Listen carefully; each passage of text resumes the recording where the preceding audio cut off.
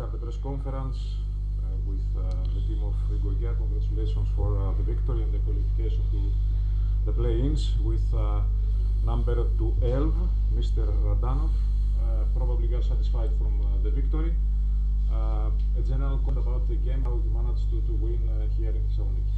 Yeah, first, uh, congratulations for both team on very tough game, very good game We play well from beginning. We play tough defense. Uh, we're doing things what coach want for us, what is most important, and I think we deserved for win and to take this advance for next round.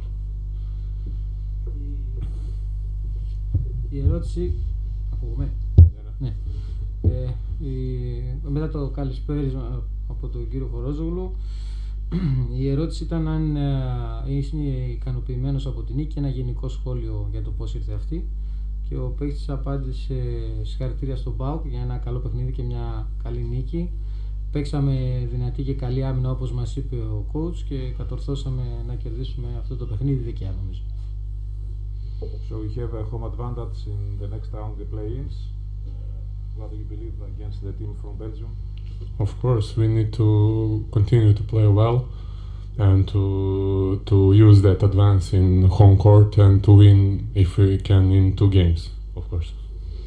Η ερώτηση ήταν για το πλεονέκτημα της έδρας που απέκτησαν και τι πιστεύει ότι θα γίνει στη σειρά με την βέλγικη ομάδα και η απάντηση ήταν φυσικά ότι ε, το πλεονέκτημα της έδρας είναι σημαντικό πρέπει να παίξουμε καλά στην έδρα μας και να εκμεταλλευτούμε αυτό το πλεονέκτημα. Έχετε ερωτήσεις; Any questions, please? Okay, thank you very much. Thank you. Bye.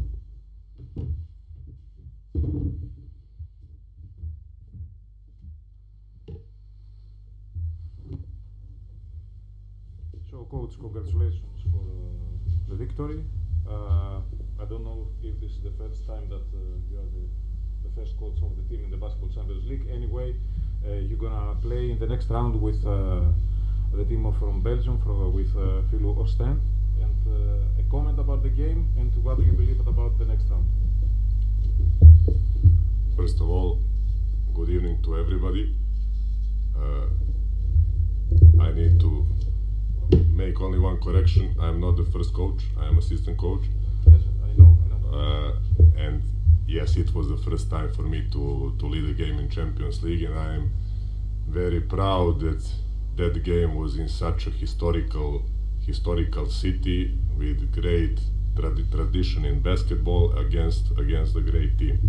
It was a difficult game, the game which we tried to control from the very beginning, trying to put our our ideas, our rhythm of basketball on the court.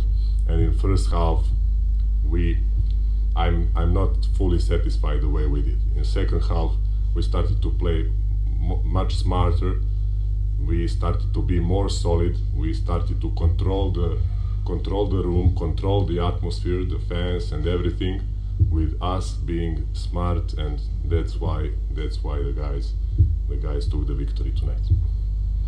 Ναι.